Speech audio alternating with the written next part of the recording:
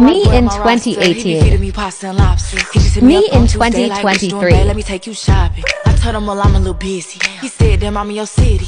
But anyway, it's okay. Hope you have a good day. I'ma see you by day 50. Then I told him, you treat me so well.